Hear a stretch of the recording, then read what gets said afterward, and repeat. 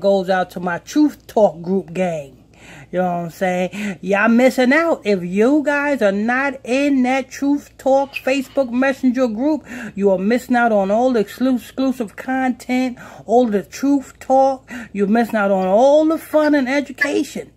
If you want to join that Truth Talk group, mess- Facebook Messenger group, send me a friend request to PSTR Michael Smith. PSTR Michael Smith on Facebook, and I'll add you to the group. You know what I'm saying? But this is to my Truth Talk group gang. Go ahead, Brother Israel. This is from PennLive.com. Article headline Mom of children found dead. Have called them zombies. Said world needed to be rid of creatures. Documents. So, so she killed her kids because she said her kids were zombies. I'm actually confused as to what happened. Okay, I guess the news report is gonna tell us. So, uh, go ahead, Brother Israel. It's from uh, my research from.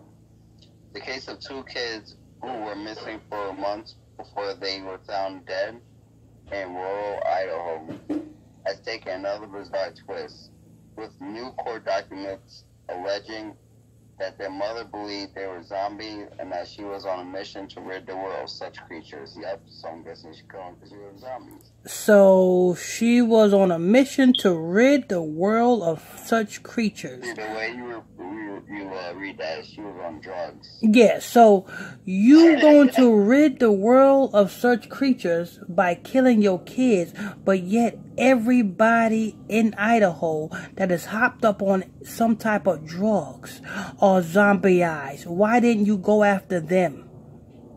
Because let's keep it real. Let me, you know what I'm saying? Here's some education for you. And this is for my Truth Talk group gang too. Here's some education for you. A zombie is somebody who takes a substance that gets them out of their natural mind state and put them in the mind state of that drug or that substance which they're, they're, they're taking. Don't believe me? Let's see. Drinking, for instance. Well, when you go to a liquor store, what do you see? Is the liquor store says wine and spirits. You can drink wine, but when you get drunk, a spirit take over. Don't believe me? Cause motherfucking am you talking to somebody who used to be a motherfucking alcoholic. And motherfucking am when I used to be drunk and the dumb shit that I used to do, and once I pass out and wake the fuck back up, motherfucker be like, yo, you know you did this, you did that, you did this, you did that. I said, really? I said, I don't remember shit. Why? Because motherfucking and when you become drunk, the spirit of that drunkenness takes over your body and now is in control of your body. The same thing when you do drugs. The spirit of that drug take control of your body and does the unthinkable. Whatever you take, even weed, the spirit of that weed takes control of your body and does the unthinkable. So if you want to rid the world of zombies, then you rid the world of anybody who is hooked on any type of substance that takes their mind out of the mind state that they are naturally in. Because them are zombies. Zombies is spiritual possession. Go ahead, Brother Israel. Yes, sir. I might have to read this in a different view because it just messed up my view. Alrighty. Police discovered remains of 17-year-old Tylee Ryan and her 7-year-old brother Joshua on June 9th at property belonging to their mother's new husband.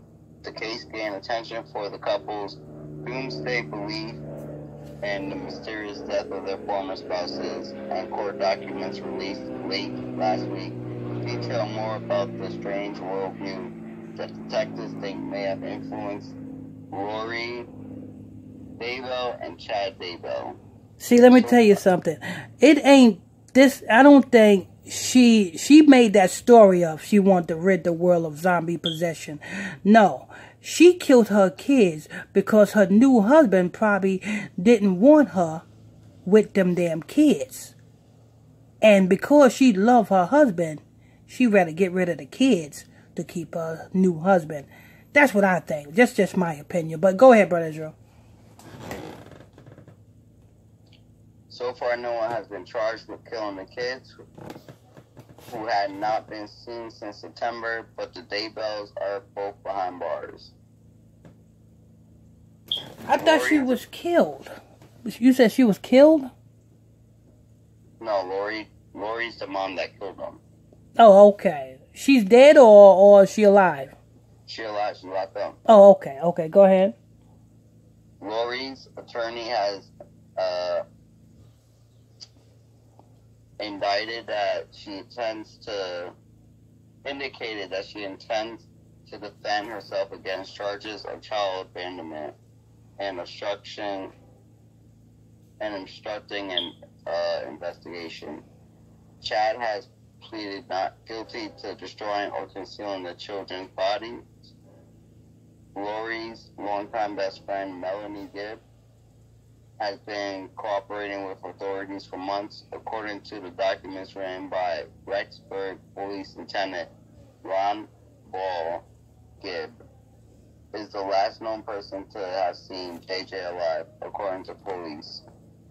When she was visiting Lori Daybell at her apartment in the small Idaho town last September, Gibb reports that when she arrived in Rexburg, Lori informed her that JJ had become a zombie.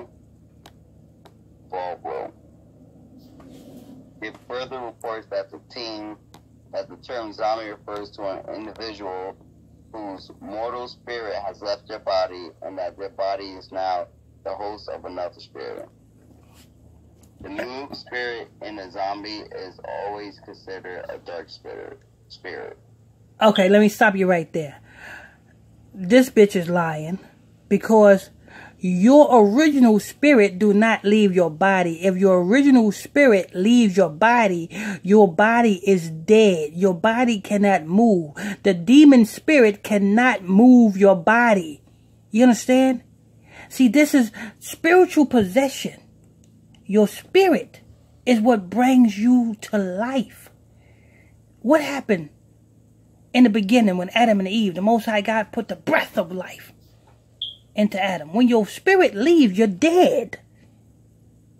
The when but when a demonic spirit comes into your body and takes over your body, the spirit other spirit don't leave. The demonic spirit becomes your spiritual husband, whether you're a man or a woman. That demonic spirit becomes your spiritual husband, and that demonic spirit is the one that controls your body now. You no longer in control of your body. That demonic spirit is in control of your body. Let me get, let, get, let me tell you, for instance, uh, a drug addict got the spirit of drugs. What that the craving and the addiction that your body crave is the food that that demonic spirit needs to be full. You understand? So if your body crave, I'm like say I was alcoholic, so my body craved alcoholic. I, I mean I can go days without eating. As long as I got some fucking alcohol, I'm good. That was the spirit that was craving my fulfillment. You see what I'm saying? And so forth and so forth. Whether it's weed, you know what I'm saying? Cocaine, heroin, whatever it is, it's the food for that spirit. That's what's called demonic possession. Another spirit don't, your main, spirit don't leave your body. Your main spirit is still there. That's why when motherfucking them, they do an exorcist, what happens? The demon comes out your body and then you back to yourself again. Now, if your spirit leaves your body when that demon spirit is out your body, then you should be dead under the doorknob because your spirit left your body, right? How about when the two possessed men that was possessed with demons, you know what I'm saying, and Christ cast the demons out of the two possessed men? When those demons left that man, that man should have died, right? But instead, that man went back to normal because he's no longer in possession of them demons. See how that works? That's why I tell you this motherfucker is lying. You you done ran up and slipped up on the wrong motherfucker. You done put this news story into the wrong hands of the wrong person because I can decipher all the bullshit. And people, if you really want to hit this truth, you're missing it. You better damn join that damn Facebook Messenger group and chill out. Send me that friend request to PSTR Michael Smith on Facebook. Go ahead, brother Israel. Yes, sir. It wasn't the first time Gibbs said she heard her friend talk about zombies. According to the statement, Gibbs said Lori Daybell had called Tylee a zombie in spring 2019 when the teen didn't want to babysit her little brother and that Lori Daybell had first learned the concept from Chad Daybell at the start of that year. Gibbs said the couple believe that when a zombie takes over a person's body, the person's true spirit goes into limbo and is stuck there until the host is physically killed. Okay, there you go. Now you speaking the truth. Don't say the spirit left the body. And you know what saying, in a demon spirit. You know what saying? Now you're speaking the truth. Go ahead, Brother Israel. The court document said, as such, death of, a, of the physical body is seen as the mechanism by which the body's original spirit can be released from limbo. Matter of fact, stop right there because we're out of time. See, we can only do so much on these little 10 minute videos. You want to know more, you got to get into that Facebook Messenger group and join the Truth Group gang. Oh You know what I'm saying? god, hold up, hold up. Before I end this, I gotta say this. I got to. hmm I got to. Alright, it says, uh, uh, release from, okay. Gibbs also said the couple believed they were spiritual leaders. She was told by Chad Daybell, uh, and Lori that they held the religious belief that they were part of the Church of the Firstborn and that their mission in that church was to lead the 144,000 mentioned in the book of Revelation. Okay. I can't say nothing on that because we almost out we out of time.